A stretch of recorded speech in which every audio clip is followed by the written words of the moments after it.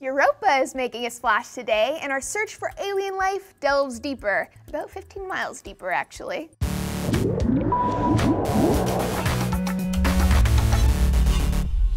Hey everyone, Laci Green here for DNews. Europa is one of Jupiter's icy moons, and if you aren't in love with it, you totally should be. Europa is a wee bit smaller than Earth's moon with an iron core and a smooth surface fully covered by a salty, churning ocean. That's right, folks, there's water out there, perhaps as much as 15 miles deep. This means Europa may have even more water than Earth, and because all water on Earth contains life, scientists have wondered for a while now, could the water on Europa contain life? Europa is a bit different though. It's so far from the sun, it's freezing out there. In fact, the entire surface of Europa's ocean is frozen. If you look at a picture of it, you'll notice that the surface looks a bit like cracked ice.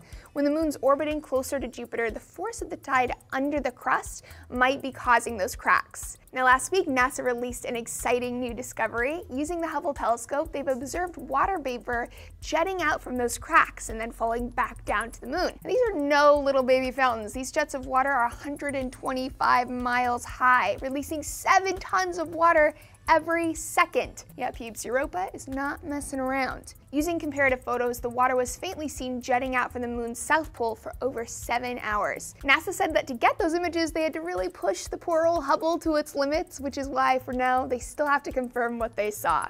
So this plume is significant because it's most likely bringing water out from underneath the planet's icy crust, making it easier for scientists to look for organic material and any signs of life. Instead of having to drill their way into the crust that's who knows how deep, they could just send a probe to bring a sample back to Earth. And they don't know how deep inside Europa's crust the water is coming from, but at seven tons a second, I mean, you figure that's gotta make some kind of a dent, right? The newfound geysers also show us that there's energy being pumped into the moon and that the surface and the ocean are interacting with each other, both necessary for the possibility of life. As exciting as all this is, Europa's jets are the first time water has been found in space. In 2005, NASA observed plumes of water coming up from the south pole of Saturn's moon Enceladus. On Enceladus, the plumes were more than twice as high. They shot up about 310 miles. However, the plumes were spewing considerably less water, about 450 pounds per second. Unlike Europa, not all the water from Enceladus's fountains fall back to the moon. Some of it leaks out into space.